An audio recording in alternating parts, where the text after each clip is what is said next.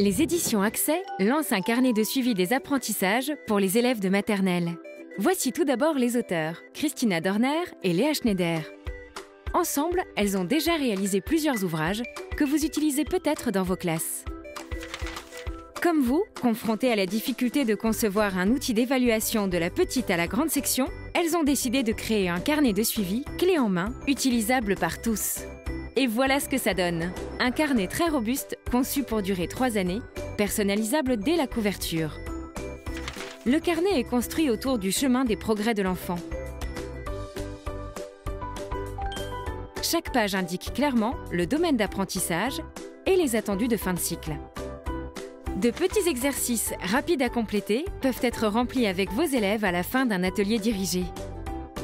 En plus, ils sont similaires aux activités proposées par les ouvrages accès. Pour personnaliser le carnet, les situations illustrées peuvent être remplacées par des photos. Vos observations peuvent être rapidement écrites. Vous pouvez aussi noter des propos de vos élèves, comme vous le faites souvent lors de dictées à l'adulte. Des emplacements permettent de coller des extraits de production ou d'être complétés directement par l'enfant s'il en est capable. Enfin, pour situer chaque enfant dans ses apprentissages, deux pages de bilan sont à renseigner une à deux fois par an. Et voilà le travail, un beau carnet clé en main qui montre clairement les progrès de l'enfant de la petite à la grande section. Le tout pour seulement 4 euros l'unité.